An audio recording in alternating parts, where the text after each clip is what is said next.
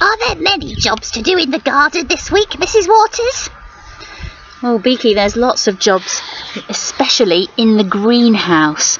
Okay, that's the busiest place at this time of year. We've got to go and plant some more seeds and get them growing ready to put out when the weather's a bit warmer, just like we did with the beans the other day. Will I be able to help with the jobs? Some of them. Don't think you'd be able to manage too many though, Beaky. I think if you had hands it would be a lot easier. Okay? Oh, hi, Buffy. You come to see us? Hello. Here again? I know you like to see Beaky. Off you go. She's always following us around, isn't she? She is. She's a very friendly cat. What are you doing now, Mrs. Waters? Well, Beaky, I've got the mower out because I started cutting the grass the other day when it was really nice, and then I ran out of petrol. And the grass is just lots of tiny little plants growing together. And when I have cut the grass a little bit later this week, I've got to spread some feed and weed and moss killer on it. And that should help to make the lawn better. But I'm not going to kill all the weeds around the farm because we need to attract the bees and the wasps especially near the kitchen garden. Right, this is another job I need to do. Better get busy. We've got the sprout stalks, and I've never grown sprouts before. These are the first sprouts I've ever grown. And I've collected the sprouts all the way up the stem, and I'm just about to take off the last few before I take the stalks away. Now, because I've never grown them before, I don't really know where the seeds are going to be found. But the top of the sprout plant has suddenly started to grow a bit more. So I'm going to leave one or two of them to see whether I get any flowers and seeds. I'll just finish picking those now.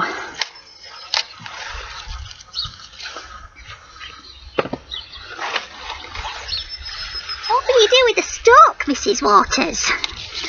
Well, I'll have to dig that up, Beaky, and chop up the stalk because it's so thick it won't rot down very quickly on the compost heap. But the leaves can go on the compost heap, and then that goodness from the leaves will rot down. Next year, I'll be able to spread the compost on the soil to feed the soil again, which then feeds the plants. This is a pretty colour. What's this? That's called purple sprouting broccoli. But the funny thing I found was that when you cook it, it goes green, just like normal broccoli. But it's uh, a little bit different because it's in spears. That means instead of being a great big piece of broccoli in the middle, you get lots of little ones that you then have to cut. So I'm just going to have a go at doing that. Is it nice? Does it taste nice? It does. It tastes just like ordinary broccoli, really. But it's very nice in stir fries. Oh. What's that big pile, Mrs. Waters? What's it for? That's called manure Beaky. I've taken that from we call it the poo pile, and that's horse manure and straw that's rotted down, and that is going to help to feed this year's plants. Because remember, plants need food and water and sunshine, just like me. That's right. We're all living organisms, so we need all those things. I need to dig that into the soil now, though, so that uh, it's not a great big heap in the middle. Are you doing it today? Maybe. So look down there, Beaky. You can see that I've spread manure or compost around the bottom of the fruit trees. And that is to help feed the fruit trees. If we look a little bit higher up, you'll notice that there's a green band. What's that green band for, Mrs. Waters? That's called a tar band, Beaky, and that's there to protect the apples later in the year. It stops certain creatures from climbing up the trunk and spoiling them. So sadly, all those little black bits are insects. Can I eat them? No, not those. Birds usually like to eat live insects, not dead ones. They're all dead insects. Okay, but that's there to protect the apples. So we should get better apples than we did last year. I need to replace those tar bands now because that one's getting rather full and this is another time of year when the insects start to crawl up the trunks and we need to watch and be careful. This pile in the middle here is quite dark and that's because the straw has rotted down with the, the horse manure and that is ready to go on the garden. This pile here fresh pile. So that's just come out of the field shelter yesterday and you can see how yellow that is. So that's got a, a few months of rotting before we can use that on the garden.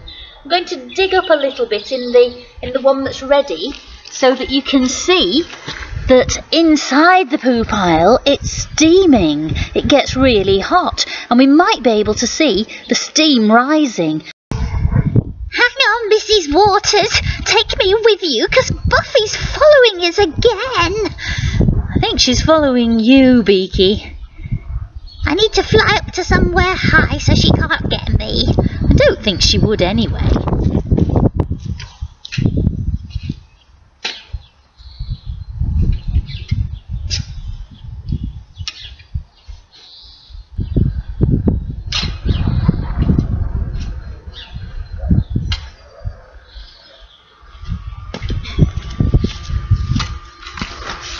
I can't see any steam, but that's probably because I took so much away yesterday that uh, it's cooled down overnight in the wind. When you know when it's ready because the smell disappears. So if it's smelly, it's fresh. If it doesn't smell, it's ready to go on the garden. Right, Beaky, well, it's time to get on with all of those jobs or we're not going to get everything finished. Alright, so let's get started. See you all soon. Bye.